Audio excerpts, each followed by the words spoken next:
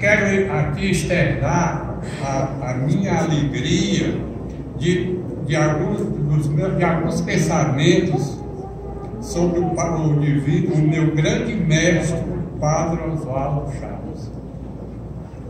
Eu não tive a honra de ser professor, de ser aluno dele, sentar no, no, no banco e tê-lo na minha frente como professor.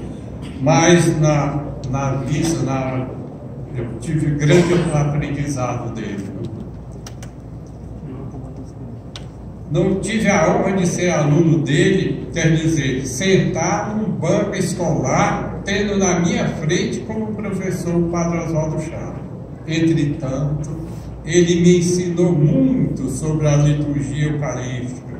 Aprendi muito, adquiri o hábito de ler a Bíblia, estimulado por ele.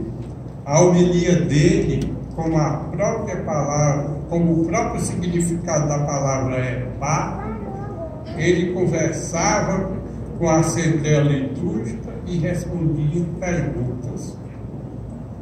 Isso estimulava o nosso interesse pelas coisas sagradas. Aprendemos, dentre outras coisas, que os tempos especiais da liturgia são dois: a Páscoa da ressurreição de Cristo e o Natal.